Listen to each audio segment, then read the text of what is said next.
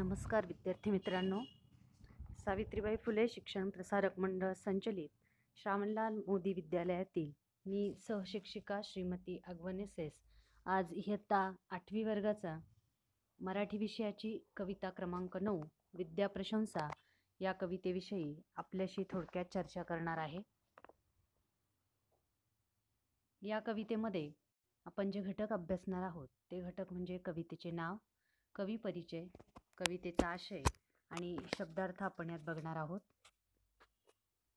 कविता आहे आपली विद्याप्रशंसा कवी परिचय आता आपण बघूया. कवी आहेत कृष्णशास्त्री चिपळूणकर. जन्म अठराशे चोवीस मृत्यू अठराशे अठ्ठ्याहत्तरमध्ये झालेला आहे. भाषांतरकार रसिक पंडित मराठी व्याकरणावरील निबंध व ग्रंथ परीक्षणे त्यांच्या चिकित्सक बुद्धीचे दर्शन घडवतात. पद्यरत्नावलीत त्यांनी मेघदूताचा रसाळ अनुवाद केलेला आहे. तसेच अरबी भाषेतील सुरस व चमत्कारिक गोष्टी रासेलस ही सॅम सॅम्युअल जॉन्सन यांची तत्वप्रधान कादंबरी सॉक्रेटिसाचे चरित्र आणि अर्थशास्त्र परिभाषा ही त्यांच्या अनुवाद कौशल्याची उदाहरणे आहेत. अनेक विद्या मूलतत्व संग्रह या ग्रंथावरून त्यांची शास्त्रीय लेखन सुगम करून सांगण्याची हातोटी प्रत्ययास येते. प्रस्तुत कवितेत विद्येची थोरवी सांगितलेली आहे. दुसऱ्याला विद्या दिल्याने ती कमी होत नसते तर वाढतच असते. माणसाला संकटातून मार्ग दाखवत असते. विद्येमुळे माणसाच्या सर्व दुःखाचे निवारण होत होऊ शकते. विद्येसारखा वाटाड्या मित्र कोणीही नाही असे विद्येचे महत्त्व या कवितेत सांगितले आहे. प्रस्तुत कविता ही आठवणीतल्या कविता भाग तीन या कविता संग्रहातून घेतलेली आहे.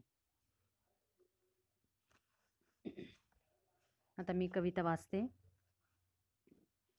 विद्येनेच मनुष्य आले श्रेष्ठत्व ह्या जगा माझी न दिसे एकही वस्तू विद्येनेही असाध्य आहे जी.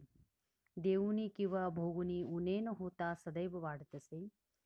ऐसे एकच विद्याधन अद्भुत गुण न हा दुजात वसे नानाविध रत्नांची कणकांची असती भूषणे फार परिविद्यासम एकही शोभादायक नसे अलंकार. या साऱ्या भुवनी हित कर विद्येसारखा सखा नाही. अनुकूळती जयाला नित्य तयाला उने नसे काही. गुरुपरी उपदेश करी संकटसमयी उपायही सुचवी.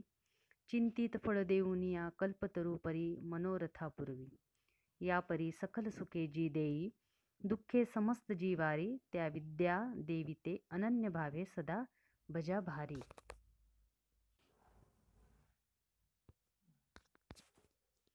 पहिलं कडवं बघूया. विद्येनेच मनुष्य आले श्रेष्ठत्व ह्या जगा माझी न दिसे एकही वस्तू विद्येनेही असाध्य आहे जी. प्रस्तुत कवितेत कृष्णशास्त्री चिपळूणकर यांनी विद्येचं महत्त्व विद्या म्हणजेच ज्ञान या कवितेत त्यांनी विद्येची महती सांगितलेली आहे. विद्येची थोरवी सांगताना कवी म्हणतात या जगामध्ये माणसाला विद्येमुळेच इतर प्राण्यांपेक्षा श्रेष्ठत्व लाभलेले आहे. आणि जी विद्येमुळे प्राप्त होत नाही अशी गोष्ट जगामध्ये कोणतीच नाही. विद्येमुळे मनुष्याला कोणतीही गोष्ट सहज शक्य आहे हेच या कडव्यामध्ये कवीने आपल्याला सांगितलेलं आहे. दुसरं कडवं बघूया.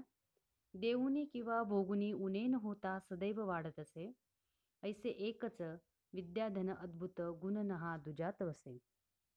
ज्ञान म्हणजेच विद्या ही अशी गोष्ट आहे की जी दुसऱ्याला दिल्याने आणि स्वतः उपभोगल्यामुळे ती कधीही कमी होत नसते तर ती उलट सतत वाढतच राहते.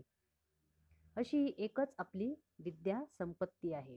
तिच्यामध्ये असलेला हा जो विलक्षण गुण आहे तो दुसऱ्या कुठल्याच गोष्टीमध्ये आपल्याला बघायला मिळत नाही. तिसरं कडवं बघूया. नानाविध रत्नांची कनकांची असती भूषणे फार परिविद्यासम एकही शोभादायक नसे अलंकार. जगामध्ये आपण बघतो की अनेक प्रकारचे रत्न हिरे माणिक मोती त्याच्यानंतर सोने अनेक अलंकार भूषण आपल्याला बघायला मिळतात. पण विद्येसारखा शोभिवंत अलंकार एकही नाही. विद्या अलंकार हा एकमेव आणि अद्वितीय असणारा हा सगळ्यात मोठा अलंकार आहे.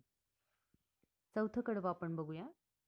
या साऱ्या भुवनी हितकर विद्येसारखा सखा नाही. अनुकूळती जयाला नित्य तयाला उणे नसे काही. आता या कवितेमध्ये या कडव्यामध्ये कवीने या सर्व पृथ्वी तलावर सर्व जगामध्ये विद्येसारखा कल्याणकारी आणि आपल्याला शुभचिंतक साधणारा दुसरा मित्र नाही. ज्याला विद्या अनुकूल आहे त्याला नेहमी कशाचीही कमतरता भासत नाही म्हणजे त्याला सर्व काही गोष्टी आपोआप मिळतात. पाचवं कडवं आपण बघूया. गुरुपरी उपदेश करी संकट समयी उपायही सुचवी. चिंतित फळ देऊन या कल्पतरूपरी मनोरथा पुरवी. विद्या ही गुरुप्रमाणे उपदेश करते. संकटात मार्ग दाखवते. संकट कसं निवारण करायचं याचा मार्ग किंवा याचा उपाय सुचवते. कल्पतरू जसं आपल्याला आपलं आपली जी इच्छा आहे त्याचं फळ आपल्याला देतो किंवा यशदायी आपल्याला ठरतो त्याचप्रमाणे विद्या ही सुद्धा आपली मनोकामना पूर्ण करत असते. सहावं आणि शेवटचं कडवं आपण आता बघूया. या परी सखल सुखे जी देई दुःखे समस्त जी वारी त्या विद्या देविते अनन्य भावे सदा भजा भारी. या शेवटच्या कडव्यामध्ये कवी कृष्णशास्त्री चिपळूणकर आपल्याला सांगताय की अशा प्रकारे सर्व सुखे देणारी व सर्व दुःख हरण करणारी ही विद्या देवता आहे. आणि आपण तिची मनोभावे नेहमी उपसा उपासना करावी पूजा करावी. अनन्य भावाने आपण तिला शरण जावं. तिची आपण साधना करावी. हेच आपल्याला या कडव्यात कवीने सांगितलेलं आहे. विद्येची महती आपल्याला कवींनी या कवितेत सांगितलेली आहे विद्येसारखा मित्र नाही. सर्व दुःख दूर करण्याची ताकद विद्यामध्ये आहे ज्ञानामध्ये आहे म्हणून विद्यादेवीची सतत आपण आराधना करावी उपासना करावी असा संदेश आपल्याला या कवितेत कवीने अगदी मोजक्याच शब्दात सांगितलेला आहे. यानंतर आपण कवितेत काही शब्दार्थ आलेले आहेत ते बघूया. दुजा दुजा म्हणजे दुसरा. कणक कणक म्हणजे सोने. भूषणे म्हणजे दागिने किंवा अलंकार. अनुकूळ अनुकूळ म्हणजे अनुकूल. चिंतित फळ म्हणजे मनात ठरवलेले फळ. भजने म्हणजे चिंतन करणे. यानंतरच्या आपल्या पंधराव्या लेक्चरमध्ये आपण पाठ क्रमांक दहा लिओनार्दो दविंची या स्थूल वाचनाचा अभ्यास करणार आहोत. धन्यवाद.